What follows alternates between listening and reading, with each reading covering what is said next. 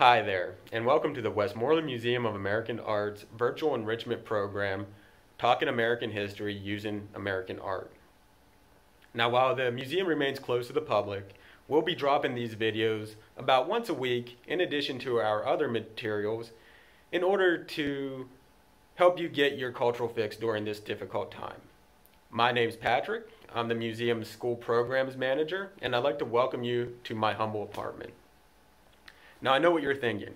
Is this guy really as boring as the blank white wall behind him indicates? Well, quite frankly, yes, he is. And it is as boring here as it would seem. But until the museum reopens, this is what you get. Good news is you won't be seeing me or this blank white wall very much in this video series. The goal of this series isn't necessarily to talk about art history, uh, the style, color, um, the symbolism within the painting or the object. That's not me. That's not my bag. That's not my background. Instead, what we're going to do is we're going to use an object from our collection or from our temporary exhibition space, and we're going to use that object to explore a facet of American history in a brief amount of time. So with that said, on today's segment, we'll be featuring Frederick Brown's John Henry from the museum's temporary exhibition, African American Art in the 20th Century, as we take a look at one of America's greatest legends. American history is rife with myths and folklore. Johnny Appleseed planted all those trees. Paul Bunyan inadvertently created the Grand Canyon by dragging his axe behind him. And of course, George Washington slept in every bed in this nation. I mean, there's a good chance that he slept in my bed at one point or another. There are hundreds of these stories, and arguably the most well known story is that of John Henry. The steel driving legend is the subject of countless ballads, stories, poems, cartoons, and movies. According to lore, John Henry was a mountain of a man, well over six feet tall, well over 200 pounds of solid muscle. And the artist's depiction of Henry indicates the man's size, as he takes up the entire foreground of the painting, which measures in at about 84 inches by 60 inches. Now, John Henry was the fastest, strongest steel driver working the railroad during the late 1800s. He was unstoppable. It's safe to say he was almost a force of nature.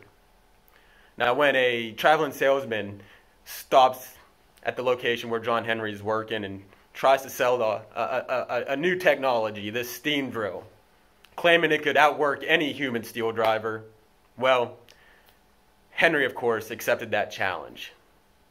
And when the dust settled, all was said and done, Henry defeated that steam drill in a feat of superhuman strength and endurance.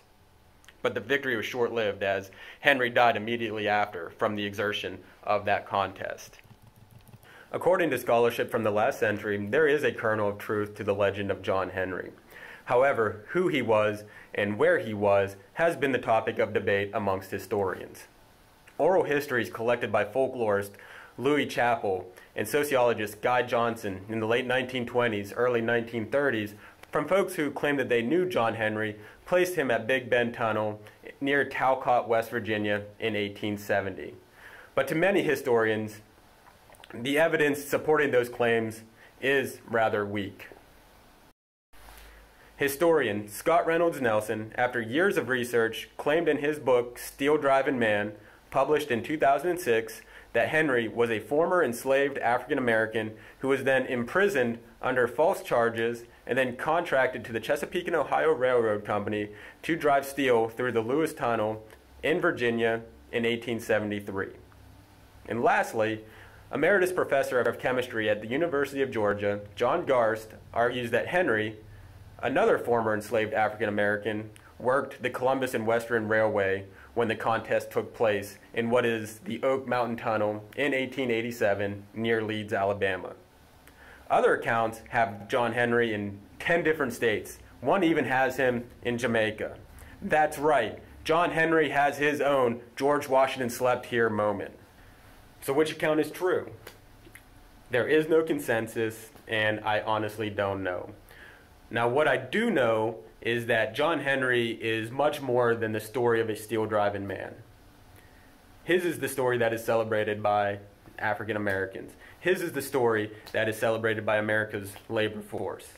His is the story of a man who looked at the insurmountable, at the unthinkable, and he took them head on with all of his might and defeated all the odds. He is American spirit personified. I hope you enjoyed this brief look at one of America's greatest legends. And if you have any questions about Frederick Brown's John Henry, please feel free to leave them in the comments section and we'll get back to you as soon as possible. Be kind, be safe, and good luck.